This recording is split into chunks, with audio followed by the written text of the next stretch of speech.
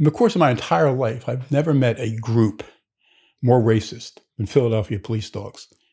And what I want to do in this video is explain why they're racist. They're not born that way. They're not trained that way. They learn racist behavior.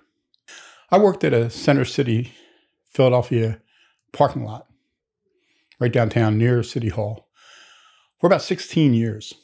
I worked from the, the lowest job as a, you know, a runner. I became a garage manager. I was even a part-time supervisor. Long time, like the first half of my 32 years I spent down there, learned a lot, witnessed a lot of crime, witnessed a lot of corruption, witnessed a lot of things that most kids going to a private Catholic school at the age of 16 don't see. Saw it all. Very important, I think, to my personal development. To understand me, you'd have to understand the years I spent down there. One of the things I learned about down there were how the canine corps worked. Center City, Philadelphia, I think it was the ninth district, pretty sure. And the whole time I was there, there were canine cops down there. Now, the canine cop unit was, you know, what was a canine cop? Well, you had the cop himself, they were all male. They wore boots, they wore these little legging things. They had the peaked white cap, sort of like the highway patrol guys. They had usually a German Shepherd, big dog, with a harness with this big handle on it and they had a Jeep. In those days, they were Jeep Cherokees. I mean, they were the original SUVs, I guess, and there really wasn't any competition. And the Jeep Cherokee would be, they were blue and white, you know, K9 on it with a unit number. And uh, you had a uh, fence between the dog in the back and the two front seats. What I learned very early working down there was that most of the canine Jeeps that worked in that area parked their Jeeps in our parking lot. There were certain corners we would leave for them dark in, in, the recesses of a garage where they could put the Jeeps so the dogs could just chill out and sleep. And of course, the obvious question I had as a, a young kid working down there was, why aren't the dogs working?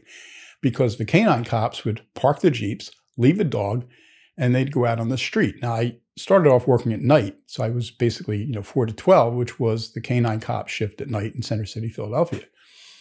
And until about 10 o'clock, they would patrol the streets down there on foot, alone. And then around 10, 9.30, 10.30, somewhere around there, they'd come back, they'd get the dogs out of the Jeeps, and then they'd go out with the dogs. And of course, the obvious question was, why are they walking around with the dogs at, at 4 p.m.? Why do they wait till 10 p.m.? And that's because, as I learned from the many canine cops that I got to know, they couldn't because the dogs, after six months or sometimes less, went racist. Racist, as they put it, went racist. Why? The training of the dogs did its best to avoid connecting any particular ethnic or gender to criminality. So when they were trained, one day there would be, uh, you know, the people would come out, the would be perps with their armored clothing on and armored gloves so they didn't get chewed up by the dogs. And one day the perps would be white males. Another day they'd be white females. Another day they'd be black males. Another day they'd be black females. Another day there'd be a Hispanic guy, a Hispanic woman, uh, Asians. And they did their best to make sure the dogs didn't associate criminality with any particular ethnic or gender. And this is the 1970s, so in those days, you have to remember it was a lot easier. We only had two genders in those days. Uh, a lot's changed. So they did their best so the dogs coming out of training weren't racist. They didn't associate criminality with any particular ethnic group or gender. The problem was in Center City, Philadelphia, the overwhelming majority of street crime, as opposed to white collar crime, which you know, detectives are looking after, but street crime was basically committed overwhelmingly by young black males, what the police just call YBMs, on a good day. Uh, And I can attest to that. You know, I worked down there 16 years. I witnessed at least three dozen crimes. These ranged from, you know, car theft at one end uh, to the, the worst I saw was my assistant manager get shot in the head.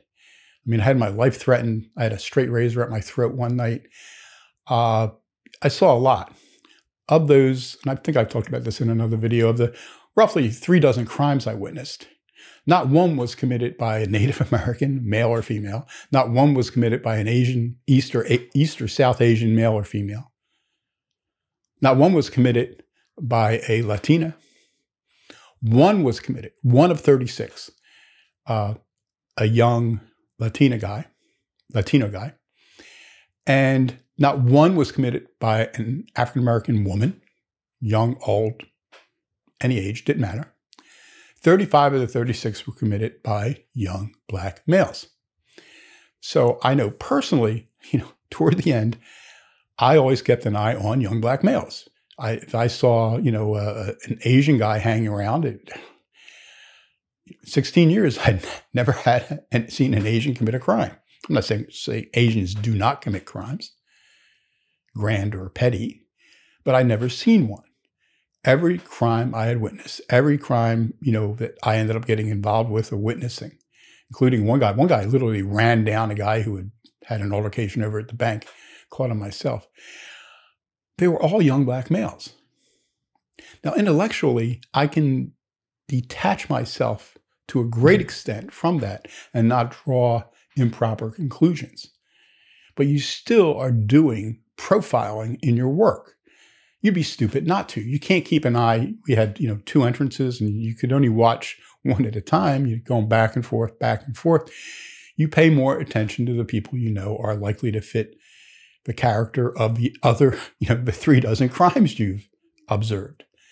And it's the same with the dogs. They get down into Center City, Ninth District, and after somewhere between four and six months, they go racist. Because night after night, perpetrator after perpetrator, they're always fit the same profile young black males. One of the other reasons they park the Jeeps in our lot at night instead of on the street was, and I've witnessed this many times, if young black guys were walking down the street and they saw the police jeep with the dog in the back, they'd go over and get on different sides of a jeep and they'd pound on the windows and make noises. And the dogs would freak out, going, you know, jumping back and forth from side to side to side to side to side. And the dogs would be like foaming at the mouth, trying to get out to get these guys. And I used to think, you know, what do they think is going to happen when these dogs are walking the street and they walk by? I mean, they're basically these young black guys, anytime they parked the Jeeps on the street, they saw the dogs. They were training the dogs to hate young black men. And I, I must have witnessed it two scores of times anytime they were out there. That's why they used to, if they could, they would get the Jeeps into our lot because it was better for the dogs because the dogs would get all worked up. And when you'd go out to patrol with the dog, the dog was ready to kill the first young black guy he saw. That dog had been trained, but he wasn't trained by the police department. He was trained by those young black males pounding on the Jeep anytime they saw this. And I saw this over and over and over again. And then the dogs get trained just through the process of apprehending criminal after criminal after criminal after criminal, and they all fit the same profile, virtually all. You know, it's, it's just like me. It's uh, 35 out of 36 crimes committed by you know young black men, and it's the same for the dogs. But the dogs, I mean, dogs are intelligent, but they also get trained. You know, if you do do the same thing for a dog, you know, you give you give a dog a dog does something, you give it a treat, the dog will do it again. I mean, that's what you do. You're training the dogs. And then essentially, essentially what happens is on the street, the dogs get trained to associate young black men with criminality. And you can see that. You see the dogs lunging. And remember, the cop, they've got a harness on these dogs, and it's big and it's strong. But, you know, the harness, the cop's arm's out about a meter, close to a meter, depends on the cop. Some are bigger, some are small. And then you've got the harness, and then you've got, you know, the harness is around the dog's chest. The dog's head and, and mouth is out ahead of the harness. So you've got somewhere between four and five feet. If you were within the range of a canine cop, even with his hand firmly on the harness, if if that dog lunges at somebody, if you're within four or five feet of the cop, the dog's going to get you before the cop gets the dog under control. That's why they would leave the dogs in my parking lot because they couldn't take them on the street because Center City around like Chestnut Street primarily, if you think of it, the, the sidewalks are pretty wide, but they were really crowded at night. This is where all the, the movie theaters are and there's restaurants and all kinds of things going on down there. It's pre-COVID, of course. And the sidewalks would be crowded. And the cops could not walk down the sidewalks with the dog because they were afraid the dog would bite somebody, somebody innocent, probably a young black male. They would bite just for simply walking down the street past them. Because all the dogs know, the dogs aren't, you know, assessing criminal behavior. The dogs just see a type and they go and they've been trained. They've been trained by their experience. They've been trained by these young black guys pounding on the windows. These are the people that they hate. These are the people who who drive them nuts. So that's why they would leave the dogs in the jeeps till around 10. By that point, the sidewalks would kind of thin out, and then they would bring the dogs out and patrol late at night, where if there were there were problems, they could use the dogs and, and keep them under control. So that's why Philadelphia police dogs were racist. I can't speak for other cities. Maybe somebody lives in another city, they can leave a comment. But you know, I got to know those cops. I got to know the dogs. And in every case, every cop, same story. Four to six months, dogs go racist. But the question I have is like, what happens to policemen? I mean, what happens to the cops? You send these cops down into these districts that are overwhelmingly African American, and the crimes committed overwhelmingly by young black males. I mean, intellectually, the cops are superior to the dog. So maybe it doesn't, they're not going to go racist in six months if they're, they have a brain. But at what point? After a year? Three years? Five years? Six years? At what point does that happen? You know, can you be a policeman and arrest night after night or day after day after day overwhelmingly young black males and not have it affect you? I know, like I said, I wasn't a cop, I was just a garage manager, but I know it affected me. I knew, you know, every car we had stolen, and I had probably 20 stolen over my 16 years from the garages I managed. Every one was stolen by a young black male, 100%. I never had a car stolen by any other ethnicity or any other uh, gender or any other age group. I mean, I never had a 50 year old black guy steal a car. It just never happened. Never saw it, never heard about it. You know, it, it, it does affect you. And that's the problem. You know, I don't know what extent training will take care of that. And, and that, that's a problem. We get, it's how our minds work. It's, it's called learning. But sometimes you can learn the wrong things. And these dogs learned the wrong things, and the dogs ended up racist. And, and, and long, as long as the environment is the way it is, until the environment changes, I don't think you can put people down there in that environment who, over a period of years, are not going to go the route of the dogs. Maybe they, they won't go as extreme, one would hope. But you, you can't go into that environment and not be infect, not be affected by it. It affected me.